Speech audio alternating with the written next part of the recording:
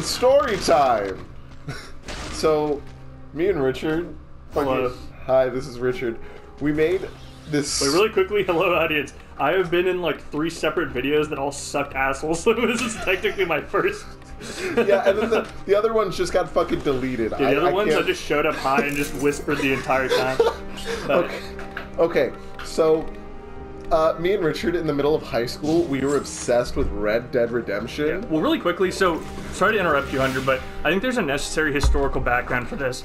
We went to high school. Back in 1942. Yeah, back in night, back we're both 58 year old men.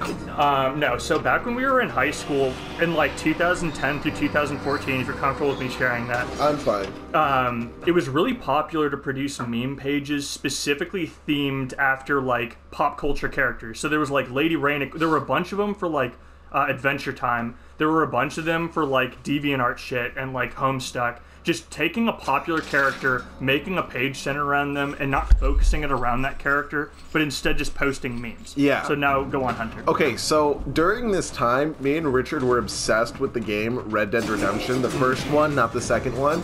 And we're like, hey, you know what we should do with our spare time since we're high schoolers and uh, we uh, are bored? We decided to make this page called Mr. Marston, which was based on John Marston from Red Dead 2. And we were posting memes and we, we made like what, like a couple hundred posts or something?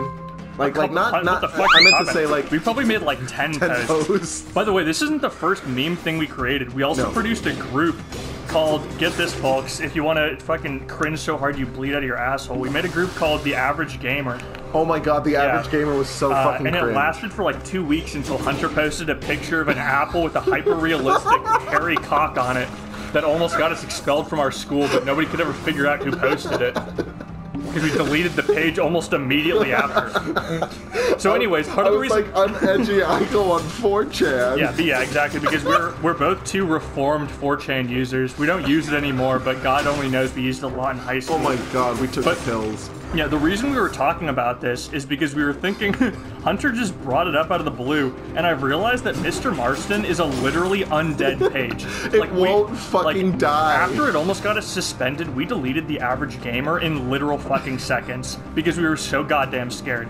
But like Mr. Marston, I know that I'm an admin, Hunter's an admin. I've deleted it at least three times, and it's still. there. I've tried to delete it like four or five It times. is a graveyard that is exclusively populated by people from, I- I'm going to be generous and say second world countries posting like phishing scams. It's a phishing, it's a phishing scam group now. and like auto group scam. Like literally, I just got a notification like three days ago where it's like Mr. Abzudali fucking fucking uh, subscribe to Mr. Martin, Mr. Marston. See what he what it's all Mr. about. Abdu Bali de- uh, declared a public fatwa that more people need to come on this fucking page and buy his shit.